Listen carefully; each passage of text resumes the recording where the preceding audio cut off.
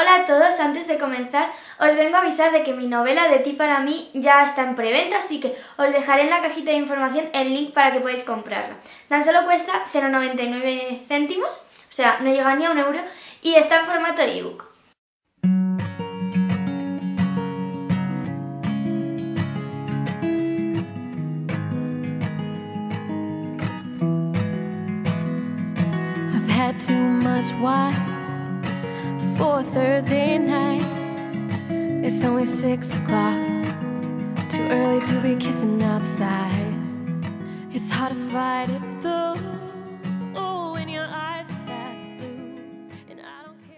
En el vídeo de hoy os vengo a hablar de las revistas literarias, como habéis podido comprobar en el título. Eh, son muchas las revistas literarias que están apareciendo últimamente. Yo participo en una de ellas y bueno, la verdad es que es un fenómeno que está empezando a surgir con más fuerza. Eh, se leen gratuitamente en la red a través de diferentes eh, páginas web que sirven para subir documentos y que tú los leas. Y la verdad es que eh, son todas muy variopintas que tratan algunas secciones comunes como entrevistas, reseñas, pasatiempos, reportajes, debates, pero cada uno lo hace a su manera. Además se tocan diferentes temas. Eh, para añadir más cosas a esto, eh, suelen ser todas de literatura juvenil, las que yo he leído y las que he encontrado, pero se mezclan con otros temas como el cine, la música y las series de televisión. La primera revista que apareció aquí en España fue El Templo de las Mil Puertas y fue en el año 2007. Actualmente es una revista eh, bimensual, cada dos meses sacan un nuevo número.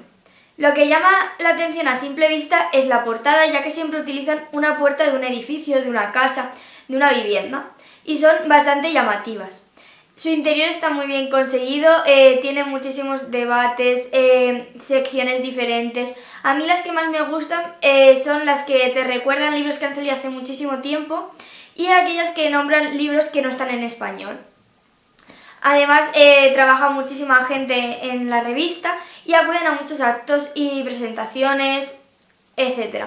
Entonces también te hace como un resumen de los que van yendo cada mes. O sea, cada... En febrero pues los que han ido, en enero los que han ido.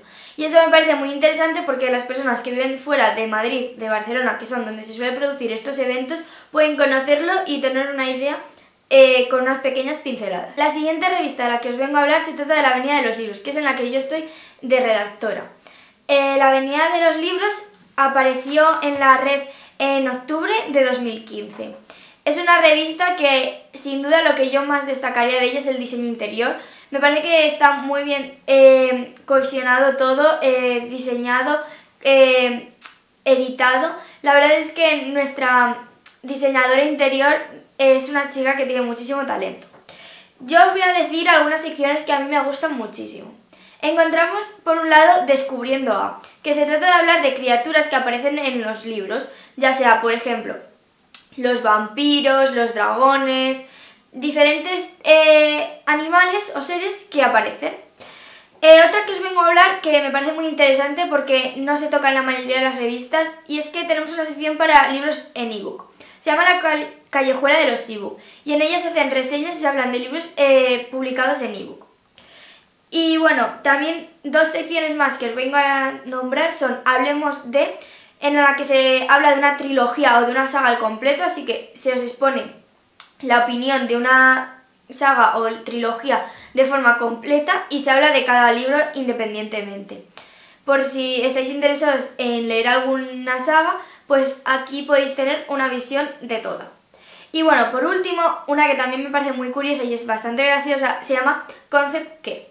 En ella se habla de diferentes conceptos que aparecen en los libros, sobre todo en libros de fantasía, que son, libros, son conceptos que los escritores, los escritores se inventan, como por ejemplo para batalla em, o sipeando. Son palabras que surgen a raíz de la literatura y que a lo mejor alguien no conoce. Además se ponen diferentes ejemplos. A continuación os vengo a hablar de la revista Literariamente. Literariamente nació en noviembre de 2015 y ese fue su primer número, pero no ha sido hasta febrero de 2016 cuando han sacado el siguiente. Es una revista mensual, al igual que La Avenida de los Libros, que no lo he dicho. Y bueno, eh, las secciones que a mí más me gustan de esta revista eh, son Famosos y Desconocidos.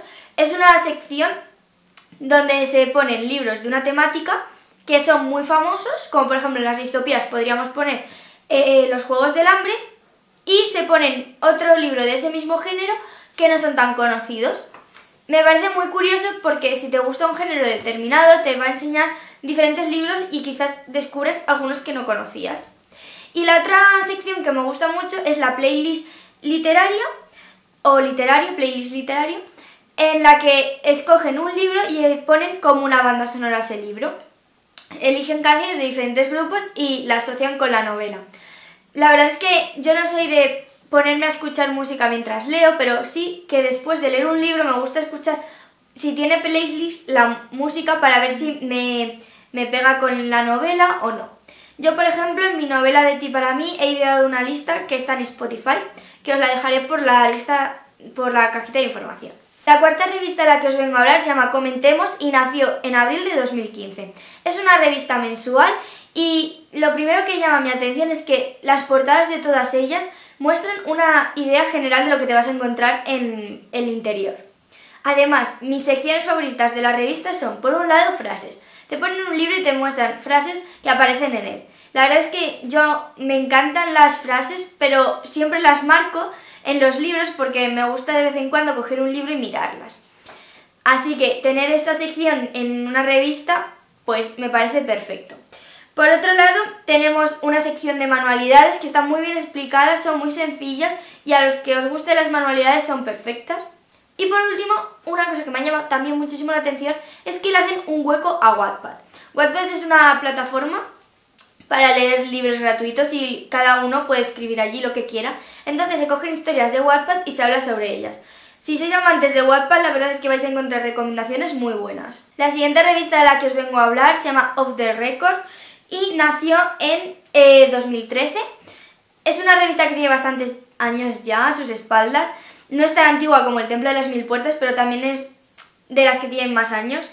Es una revista bimestral y una sección que me encanta de esta revista es la que te hace mm, viajar a las librerías de otros lugares, de otros países. En los dos últimos números eh, se fueron a Alemania y a Portugal. La verdad es que a mí me encantó esa sección, eh, me gusta mucho leer sobre librerías de otros sitios y si puedo ir visitarlas, me parece bastante interesante. La penúltima revista de la que os vengo a hablar se trata El Alijo, que nació en abril de 2015 y es una revista bimestral. En ella podemos encontrar eh, algunos escritores como Anabel Botella o Inés de Arriero. Y bueno, lo que yo destacaría de esta, de esta revista es que tiene una gran cantidad de reseñas. Entre ellas destacaría las reseñas infantiles, ya que no se ven en el resto de revistas o que no tienen tanta importancia. Eh, las reseñas infantiles, si tienes un niño pequeño en casa, si tienes algún familiar que sea un niño, seguro que encuentres algún libro que te vaya a gustar para regalárselo o leérselo.